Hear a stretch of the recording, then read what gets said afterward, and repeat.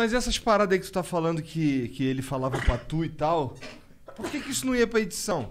Aí deixa eu te falar uma parada. E os caras que estão vendo pelo pay-per-view É, lá? isso aí é muito importante. É. Cara, deixa eu te falar uma parada. Nos últimos dias começou uma parada a me chamar atenção pra caralho. Eu tava totalmente ao contrário deles no horário, porque, tipo, eu dormia de dia quando dava, aí ficava acordado de madrugada e os caras dormindo.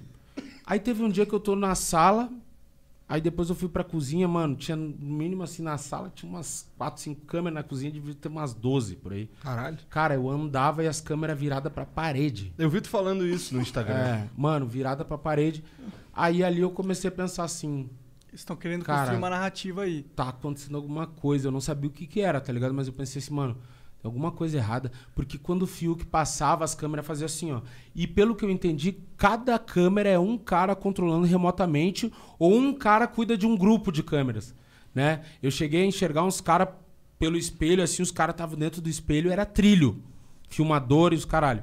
E tinha as câmeras principais, que tinham aquele foco foda, com as lentes foda e tal. E tinha outras que eram câmeras de vigilância. Elas se mexiam, focavam, davam zoom e tal, e tu via a lente fazer o, o movimento. E o caralho, mano, tô num ponto cego na casa mais vigiada do Brasil. Tem alguma coisa estranha, eu sou o único que tô acordado, era pros caras tá assim, né? Pô, tinha que arriar as calças. É, mano. Ai, as calças foda. Ô, mano, eu vou te falar, a única vez que eu vi, as únicas vezes que eu vi a câmera focar quando a gente tava, tipo assim, articulando uma parada, jogando, combinando, porque eu combinei voto, articulei, manipulei, mano, é do jogo. O mantra dos caras é tipo, fuja do paredão. Tu entra lá e tu enxerga a parada como um tabuleiro. Tu quer indicar as pessoas e tu pensa que o Brasil vai entender, mano, os caras estão jogando muito bem. Mas não, as pessoas compram, tipo assim, ah, o coitado, a história de superação. E não é isso que eu quero vender. Porque se eu fosse vender a minha história de vida, mano, aí eu já vendo pra quem me acompanha, pra quem me segue ali. Não vou num programa pra jogar. Ali eu fui pra jogar, mano. Entendeu? É isso que eu fiz. Aí, tipo assim, quando, quando eu saí, eu tive uma cobrança da galera do escritório. Porra, cara, tu não fez tal coisa. A gente, olha um exemplo. Tinha gravado três músicas, tá ligado? Tinha gravado uns pagodes tal, umas paradas. Os caras, porra, tu não cantou nenhuma vez as músicas. Cara, eu não só cantei, como eu peguei as minas que eu me dava lá e fiz elas montar uma coreografia. Elas dançavam na grama e eu subia lá onde tem o ofurô e cantava com o microfone, tipo se fosse um palco. Cara, os caras estavam entre seis, cada um numa TV diferente, com pay-per-view, com Globoplay, e não me achavam, mano. Muitas vezes eles falaram, cara, pegava a tua voz e trocava de ambiente, a gente não conseguia escolher a câmera. Então, tem sim uma edição em tempo real no pay-per-view, no Globoplay, porque a, a- e a galera, é só a galera refletir, a galera que realmente assinou a parada, do nada tu tá vendo um bagulho corta. Do nada tu quer uma câmera do confessionário porque alguém foi chamado, tu não consegue botar pra lá, porque não é pra tu ver, tá ligado? Claro, às vezes dá uns problemas, né? Que nem vazou o áudio do Boninho falando com o Projota. Não vi, Tu não falando viu? o quê? O que ele falou? Cara, quando o Lucas, né, ele foi tirado do programa, tipo assim, os caras chamaram o Projota, porque o Projota queria desistir. Aí ele falou, não, mano, fica aí, tá tudo certo, agora o Lucas já foi. Falou várias paradas, depois a galera procura.